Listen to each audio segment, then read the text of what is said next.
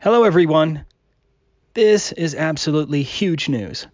We've already had one cosmonaut claim that the Earth is flat. His name was Miroslav Hermaszewski.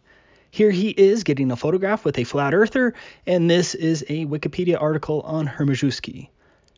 Please watch his interview. Pan tam był. Czy Ziemia rzeczywiście jest kulą zawieszoną w kosmosie? Jest płaska.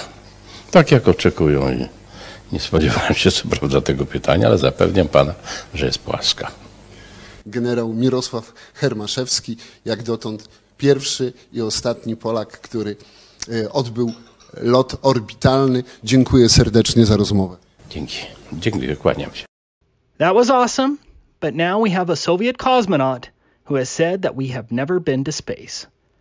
This cosmonaut's name is Igor Petrovich Volk.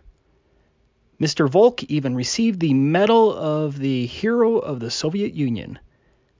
I have included the translation of the interview, which you can verify by clicking on the CC button on YouTube.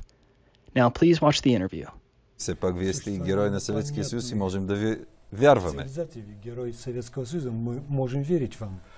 Вы знаете, вот сказ- Вижте, сказал, что вроде честь казах, космонавтов, э, что они не говорят о том космосе. А им говорить нечего. Я об этом кара космонавтите да говорят в космосе фактически за не това, были. което става в Если космоса. говорит, Те просто не знаят нищо Не верьте, такова. Ние не сме били в космоса. Ако някой твърди това, това не е вярно, не е истина. Това е поредната хипотеза, над която ще гипотеза, се наложи заедно с придется зрителите на въпросна вместе с гледна точка да на размишляваме дълго. Хорошо. Добре. Это хорошо, когда Това е люди добре, думают. когато Мне хората мислят. Това ми харесва. Игор Петрович, благодаря ви за участието във въпросна за гледна точка. Пожалуйста. Моля. There you have it. Two truly brave cosmonaut whistleblowers have now told you that space is fake. How much more evidence do you need?